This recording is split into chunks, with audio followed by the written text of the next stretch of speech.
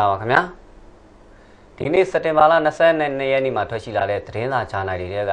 စိတ်ဝင်စားဖို့ကောင်းတဲ့သတင်းတွေကိုကောင်းတော့ဖတ်ရှုတင်ဆက်ပေးမယ့်အစီအစဉ်ကိုကျွန်တော်စိုးတီရနဲ့အတူကျွန်တော်မြတ်သူအောင်တို့ကအတက်ဆက်ပေးပါပါဟုတ်ကဲ့ပါကွန်မြတ်သူအောင်ရဲ့ပထမဆုံးအနေနဲ့မျက်နှာဖုံးသတင်းလေးတွေဗားမြရွေးထားလိုက်ဗျာပထမပိုင်းအစီအစဉ်မျက်နှာဖုံးသတင်းမှာကျွန်တော် device daily ကနေပြီးတော့တစ်ပုတ်စဖတ်ပေးမယ်ဒီအစိုးရအဖွဲ့ကြီးတဲ့လုပ်ငန်းစဉ်အရက်ရက်ကို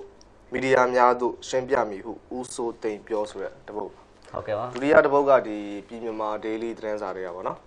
အပြည်ပြည်ဆိုင်ရာငြိမ်းချမ်းရေးနေ့အထိမ်းအမှတ်မြို့နယ်အချို့၌လမ်းလျှောက်ချီတက်ဆိုတဲ့ဟာပါဒီနောက်ဆုံးတစ်ပုတ်ကတော့ဒီ7 day တွေကပေါ့နော်ဒီခေါင်းလောင်းရှာတော့တောင်တူးတင်မောအစိုးရပြန်သိမ်းသွားပြီဆိုတဲ့တစ်ပုတ်ပါဟုတ်ကဲ့ပါဟုတ်ကဲ့ကိုစိုးသီရောဒီ editor အပေါ်တွေကဘယ်ဟာဖတ်ပေးမှလဲဗျဟောကျွန်တော်ဒီမျက်စိမတွေကအိဒါအပေါ်လေးရွေးထားရတယ်ဗျာနော်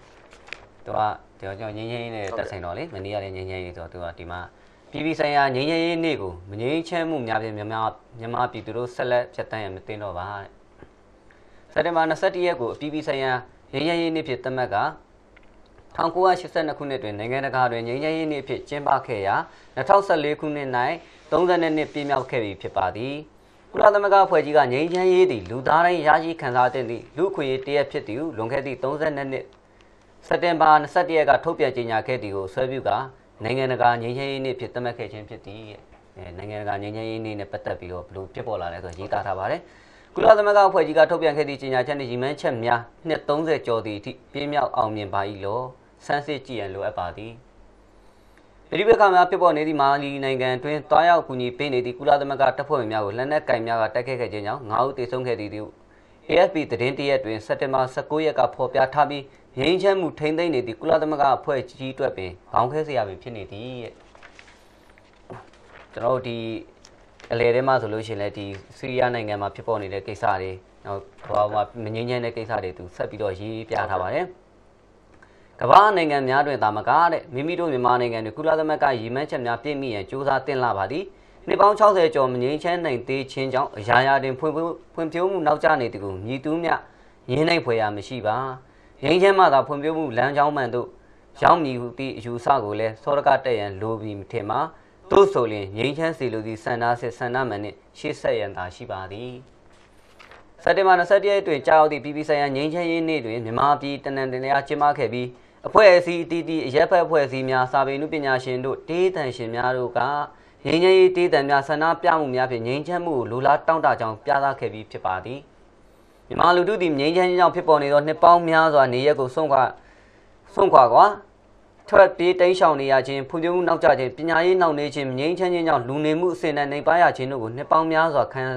စားနေရခြင်းကြောင့်ငြိမ်းချမ်းရေးတန်ဖိုးကိုသိရှိကငြိမ်းချမ်းရေးကိုလူလားတောင်းတနေခြင်းဟုဆိုရင်လည်းမှားနိုင်ပြီမထင်ပါဆိုပြီးတော့ရေးထားထားပါတယ်။အမနောက်ဆုံးမှရေးထားတာကတော့မိမိတို့နိုင်ငံတွေဖြစ်ပေါ်နေသည့်ပြည်ပခတ်များကိုဖြည့်ရှင်းရန်အစိုးရနှင့်တိုင်းရင်းသားလက်နက်ကိုင်အဖွဲ့များ သုံးနှစ်အတွင်းတွဲဆုံဆွေးနွေးမှုများယာနဲ့ချီပြုလုပ်ခဲ့ပြီးဖြစ်သည်။သို့သောလက်တွေ့ဆုပ်ဆုပ်ကန်ကန်ခိုင်ခိုင်မာမာပြသနိုင်သည့်အကျိုးရလဒ်များကိုမတွေ့ရှိရသေးပါ။စစ်မှန်သည့်ငြိမ်းချမ်းရေးအတွက်တူဘော်တူယုံကြည်မှုယုံကြည်မှုအပြည့်နဲ့စစ်မှန်သည့်စိတ်ဆန္ဒများဖြင့်ရှေ့ဆက်ကြရန်လိုပါလိမ့်မည်။ငြိမ်းချမ်းနိုင်သေးခြင်းကြောင့်အဖက်ဖက်တွင်နေကြရသည့်ပြည်သူမျက်နှာကိုလည်းကြည့်ကြရန်လိုအပ်ပါလိမ့်မည်။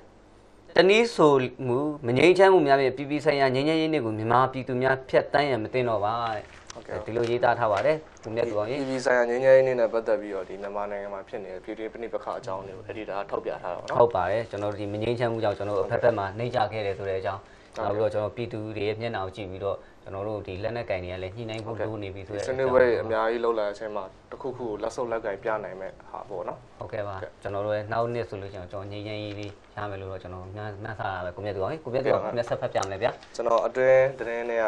ဒီ device daily တွေကတပုတ်ရေးထားတယ်ဗျပျောက်ဆုံးတောင်တက်သမား2ဦးကိုတဲ့စက်တင်ဘာလ29ရက်နေ့နောက်ဆုံးထားရှာမယ်ဆိုပြီးတော့ရေးထားတယ်ဗျအောက်မှာဆက်ရေးထားတာကကချင်ပြည်နယ်မှာရှိတယ်တဲ့ခါကာဘိုရာစီရေခဲတောင်ကိုတက်ရောက်ပြီးတော့ရပ်ပေါင်း20ကျော်အဆက်အသွယ်ပြန့်ပြီးပျောက်ဆုံးနေတဲ့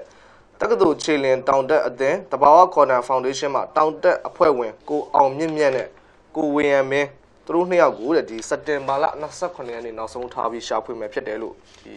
တဘာဝကော်နာဖောင်ဒေးရှင်းဥက္ကဋ္ဌကပြောလိုက်တယ်ဆိုပြီးတော့ဒီမှာသူတို့ရေးထည့်တာပြီးတော့အောက်မှာဒီဆက်ပြီးတော့ဗာပြောထားလဲဆိုတော့ရင်းတို့29ရက်နောက်ဆုံးထားရရှာဖွေမီဆိုခြင်းသည်တဲ့တောင်တက်အဖွဲ့ဝင်များကိုကူညီရှာဖွေနေသည့်2 Foundation ကရှာဖွေမှုများရပ်ဆိုင်းမည်ဆိုသည့်ထုတ်ပြန်ချက်ကိုကိုးကားပြောဆိုခြင်းဖြစ်ပြီးတက္ကသိုလ်ခြေလျင်တောင်တက်အသင်းတဘာဝခေါ်တန်ဖောင်ဒေးရှင်းအနေနဲ့ ရှာဖွေမှုများဆက်လက်ပြုလုပ်မည်ဟုလို့ပြန်ကြားရေးတာဝန်ရှိသူတို့ကပြောကြသည်ဆိုပြီးတော့ဒီသူတို့ဒီနှစ်ယောက်ကိုရှာဖွေမှုရပ်ဆိုင်းတာနဲ့ပတ်သက်ပြီးတော့ပြန်ပြီးတော့ရှင်းထားပါတော့ဟုတ်ကဲ့ပါပြီးတော့ဒီလောလောဆယ်သူတို့ကလောလောဆယ်ဒီတောင်တက်သမားနှစ်ဦးကိုဘယ်လိုချိန်နေရောက်နေပြီးပြောထားလဲဆိုတော့ရှာဖွေရေးနဲ့ကယ်ဆယ်ရေးလုပ်ငန်းများလှုပ်ဆောင်စေအနေထားဖြစ်၍ပျောက်ဆုံးနေသည့်တောင်တက်သမားနှစ်ဦးကိုအသက်ရှင်နေမှုရာဂိုင်နှုန်းကိုမပြောနိုင်သေးကြောင်းဆိုပြီးတော့သူကဒီမှာဆက်ပြီးတော့ပေါ်ပြထားတယ်ဗျ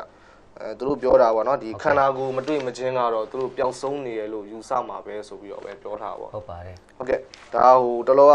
ဒီအရှိတောင်အချာမှာအမြင့်ဆုံးဖြစ်တဲ့ခါကောက်ဘရိုစီတောင်ကချင်ပြည်နယ်မှာရှိတာဟိုဒီတဘာဝခေါ်တန်းဆိုပြီးတော့တောက်တက်သမားနှစ်ယောက်ပျောက်နေတာပါနော်ဟုတ်ကဲ့ပါကျွန်တော်တို့ဒီတောင်တက်သမားကြီးလေးမြန်မြန်တွေ့ပါလေလို့ကျွန်တော်တို့ဆူတောင်းပေးရမယ်ဗျာနော်ကိုစိုးတီကတရင်အောင်ကျွန်တော်ဒီရွေးကောက်ပွဲစနစ်နဲ့ပတ်သက်တဲ့သတင်းလေးဗျဒါမျက်စိမှတွေမှာပါတဲ့သတင်းလေးပါ ရွေးကောက်ပွဲစနစ်ပြောင်းပြီဆိုကတမတော်သားပါဝင်မှုကိုနှုတ်ပယ်မစင်စားသင့်ဟုကိုကိုကြီးပြောအနာဂတ်လွတ်တော်ရွေးကောက်ပွဲများတွင်ရွေးကောက်ပွဲစနစ်ပြောင်းလဲချစ်သုံးပြီဆိုပါကတမတော်သား25ရာခိုင်နှုန်းကိုခြံလက်မထားဘဲယာနှုံးပြည့်စင်စားမှသာတဘာဝကြလိမ့်မည်ဟု88မျိုးဆက်ចောင်းသားများအဖွဲ့ရင်းရင်းနဲ့ပွင့်လင်းလူဖွဲ့စည်းခေါင်းဆောင်တူဖြစ်သူကိုကိုကြီးကစက်တင်ဘာ21ရက်ရန်ကုန်မြို့တွင်ပြောသည်ဆိုတော့ရေးသားထားပါတယ် ဒီမှာဥပ္ပိုလ်ကြီးပြောတဲ့ဥစ္စာလေးထည့်ပေးထားပါတယ်လွတ်တော်ကိုယ်စားလှယ်100ရာခိုင်နှုန်းစလုံးအတွက်စဉ်းစားမှာပဲတဘာဝကြတယ်အဲ့ဒါလို့မဟုတ်ပဲ25ရာခိုင်နှုန်းကိုတော့မထိရဲလို့မထိဘူး85ကိုတော့ရွေးကောက်ပွဲစနစ်ပြောင်းဖို့စဉ်းစားနေတယ်ဆိုတာတဘာဝမကြဘူးလို့ကျွန်တော်ထင်တယ်ရွေးကောက်ပွဲစနစ်ပြောင်းဖို့စဉ်းစားတော့မယ်ဆိုရင်လွတ်တော်ကိုယ်စားလှယ်100ရာခိုင်နှုန်းစလုံးအတွက်စဉ်းစားဖို့လိုတယ်လို့ကျွန်တော်မြင်တယ်ဆိုပြီးတော့သူကပြောထားပါတယ်ဟုတ်ကဲ့ဟိုကျွန်တော်တို့ဒီအခုဆိုလို့ရှိရင်လည်းကျွန်တော်တို့လွတ်တော်ထဲမှာဟိုစနစ်၃မျိုးကိုတင်သွင်းဖို့ပေါ့နော်ရွေးကောက်ပွဲပုံစံ၃မျိုးကို တင်သွင်းဖို့တွေကြိုတင်ပြီးတော့လှုံ့ဆော်နေတာရှိပါတယ်ဒါပေမဲ့ပြင်ဆင်နေတာရှိတယ်ဒါပေမဲ့လို့ကျွန်တော်တို့ဒီရွေးကောက်ပွဲစနစ်နဲ့ပတ်သက်ပြီးတော့ပေါ့နော်ဟုတ်ကဲ့အဲဒီအထဲမှာတက်မတော်သားကိုယ်စားလှယ်တွေရဲ့ပါဝင်မှုနှုန်းနဲ့ပတ်သက်ပြီးတော့တော်တော်များများကတော့မတိကျအောင်ဆောင်နေကြတဲ့ကိစ္စနဲ့ပတ်သက်ပြီးတော့ပေါ့နော်နောက်ပြီးတော့ဒီပါဝင်မှုလည်းဒီဘလို့သွားမယ်ဆိုတဲ့ဥစ္စာတိတိကျကျဟုတ်ကဲ့ဒီ25ရာခိုင်နှုန်းရွေးကောက်ခံကိုယ်စားလှယ်မဟုတ်တဲ့တက်မတော်သားကိုယ်စားလှယ်25ရာခိုင်နှုန်းတိတိပပဘယ်လိုအချိန်မှာဘယ်လိုသူတို့စုပ်ခွာစေမယ်ဆိုတဲ့ကိစ္စမျိုးပေါ့နော် အဲအဲ့ဒါမျိုးမပါဘဲနဲ့ဒီလိုသွားနေကြတဲ့ကိစ္စတွေရှိတယ်နော်ဟုတ်ကဲ့ပါကိုမြတ်သူအောင်ဗာမြန်ဆက်ဖက်ပြမလဲဗျာကျွန်တော်ဒီ weekly 11တွေကကတ်တွန်းတစ်ပုတ်ရေးထားတယ်ဗျ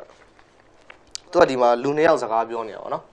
ဒီသူကပထမလူကဒုတိယလူကဘာပြောလဲဆိုတော့အစိုးရကိုအကောင်းမမြင်တာမဟုတ်ဘူးတဲ့အစိုးရကောင်းတာကိုမြင်ကျင်တာပါလို့ဆိုပြီးတော့သူ တယောက်နဲ့တယောက်ပြောနေတဲ့စကားတန်လေးကိုကတ်တွန်းဆရာပုံဖော်ထားတာပါခင်ဗျဟုတ်ပါတယ်အစိုးရမကောင်းတာကိုဟိုအကောင်းမမြင်ဘူးဒါလားမမဟုတ်ဟုတ်ဘူးဘူးနော်အစိုးရကကောင်းတာတခုမှမမြင်သေးလို့မြင်ချင်တဲ့ပုံမြင်ကျင်တဲ့ပုံနဲ့ပြောတာစေတနာနဲ့ပြောတာဟုတ်ကဲ့ပါဟုတ်ကဲ့ဒီကတ်တွန်းလေးကလည်းတော်တော်တော်ထိမိမယ်ကဲကိုမြတ်သူအောင်ကျွန်ဟုတ်ကဲ့တော်ဒီကတ်တွန်းလေးနဲ့ပဲကျွန်တော်တို့စနေမာလာ22ရက်နေ့မှာထွက်ရှိလာတဲ့သတင်းစာဂျာနယ်တွေထဲကစိတ်ဝင်စားဖို့ကောင်းတဲ့သတင်းတွေကိုကောင်းတော့ဖက်ရှူတင်ဆက်ပေးတဲ့အစီအစဉ်ပထမပိုင်းကိုရှင်းနာလိုက်ပါတယ်ခင်ဗျာဒီကိုစောင့်မျှော်ကြည့်ရှုတဲ့အတွက်ကျေးဇူးအများကြီးတင်ပါတယ်